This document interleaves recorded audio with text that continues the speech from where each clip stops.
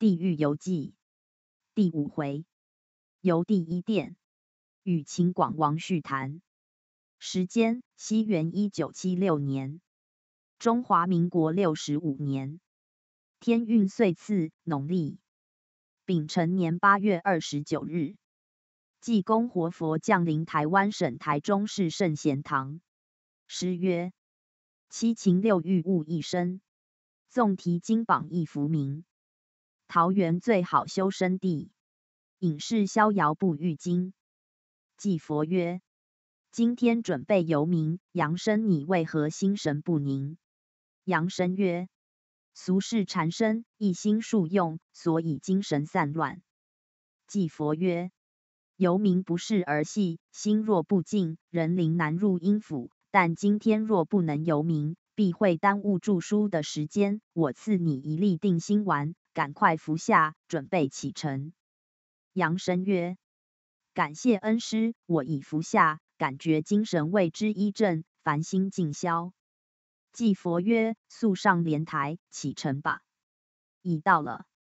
杨生曰：“这是什么地方？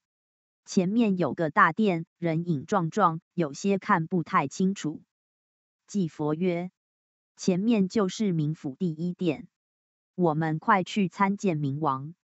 秦广王曰：“迎接济公活佛及台中圣贤堂圣比杨善生驾到。”杨生曰：“参见秦广王，我今天随祭佛到贵殿打扰，冒犯之处，请多宽恕。”明王曰：“杨生不必客气，随我入殿，请在会客室稍坐，命将军速奉仙茶。”将军曰：“遵命。”明王曰：“祭佛，杨善生请用茶。”祭佛曰：“杨生何必踌躇？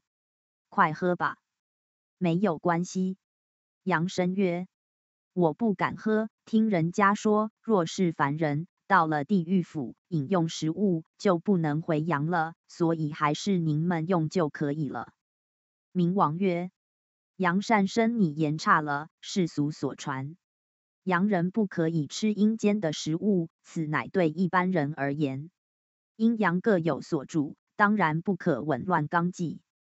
但你是奉旨而来，属于贵宾的身份，而且有祭佛引导，怎么会不能回阳呢？祭佛曰：“杨生，你就放心吧。玉旨在身，有那一个小鬼。”敢得罪或拦路，谁若冒毒谕旨，一律严罚不赦。别怕，快喝吧。明王曰：世人都是贪生怕死的，但是如果杨善生是怕死而不敢喝茶，那还是情有可原。有一般的世人，明知为非作歹，只有死路一条，还是不肯回头的，勇往直前，一直到步上了坟墓。唉，真是可悲呀。杨生曰。我喝了就是，口也正渴着呢。请问冥王，外面那么多人在排队，是为什么呢？冥王曰：我是掌管第一殿的，凡间的人死后，先到阴阳界交部听报道后，阴历便将亡魂押至本殿，并将报道卡一并归入档案。我查其善恶，善功多的人，就带入阴府各殿去参观，或由各个有缘的恩师。度回再修炼，或发送至赏善司或聚善所；罪过多的，则发令交给第二殿去审判，或押进罚恶司。如果罪恶深重却不肯认罪者，就要先押上孽镜台，照出他们犯罪的原形，使他俯首认罪，然后再送第二殿。杨生曰：外面的亡魂啼哭之声，哀嚎不绝，壮志凄惨，老弱妇孺都有。不知为何而哭。明王曰：世人到了本殿，明白自己已经离开了世间，在生的时候不相信鬼神与因果的报应，一旦到了此地，了解人死了，并非一切可以化消。所谓一旦无常，万事空，阴路只有孽随身。亡魂深知将受阴间律法的审判受刑，个个心寒而栗，痛哭后悔。而且离开了阳间的亲人、娇妻、爱子、高楼金银，恩爱难舍，现在只有孑然一身赴黄泉，想来经不住悲哀流泪了。杨生曰：为何那些阴历对亡魂都不尊敬，用铁叉压之，或用鞭子抽打，亡魂个个噤若寒蝉，实在太可怜了。明王曰：这些亡魂在世时不守道德，所以阴历对他就不客气了。此乃其罪有应得，正是恶人自有恶人磨，侥幸投机，度奈何？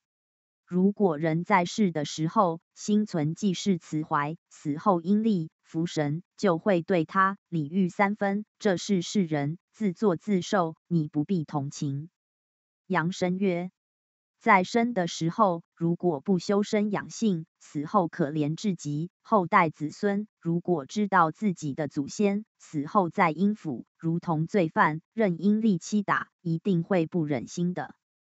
世人要对祖先报恩的方法，只有修道行善，以功德超度祖先的灵魂，早日使他们出离苦海。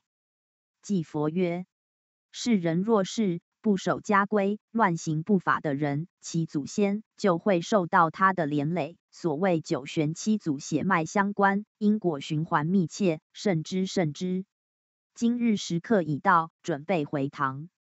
明王曰：“送驾。”祭佛曰：“杨生快上莲台，准备回城。圣贤堂已到，杨生下莲台，魂魄投体。